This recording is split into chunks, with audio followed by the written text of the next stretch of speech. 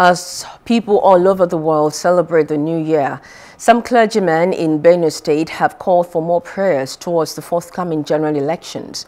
The clergyman spoke in an interview with Plus TV News correspondent shortly after the New Year Thanksgiving service. The state chairman of the Christian Association of Nigeria, Reverend Akpen Leva, urged the people to put their hopes in God. As leader of the church in Benue State and uh, Nigeria at large, I want to encourage all Christians to, first of all, have their hope in God for the year 2023. Because when you put your hope in, in God, God will make you realize what you are hoping for. Even though some people have fears that uh, election may not hold, that the, the attacks crisis will continue to mar relations in Nigeria. I am hopeful that as we put our trust and our hope in God, we will have a very, very peaceful and successful election in, in Nigeria.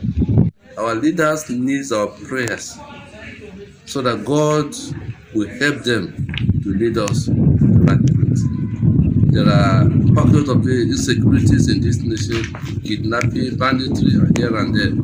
It is only prayer that can solve some of the problems. So I call on everybody to pray for this nation. This is the only country we have, and Nigeria needs our prayers to solve some of the challenging situations that we have in this nation. If a people has ever labeled Nigerians as praying people, this is the time they will see the result of prayer in Nigeria as a whole because we have entered a season now that the long awaited 2023 is here. We have entered a season when God wants to prove himself strong in the life of his people and in the life of our nation and state. God is divinely going to bring about uh, the lifting of so many and the dethronement of so many. What is going to happen in this season as we approach the general election, you will see God frustrating the efforts of the wicked and those who have ripped this country, ripped our state of our commonwealth. Hello. Hope you enjoyed the news. Please do subscribe to our YouTube channel and don't forget to hit the notification button so you get notified about fresh news updates.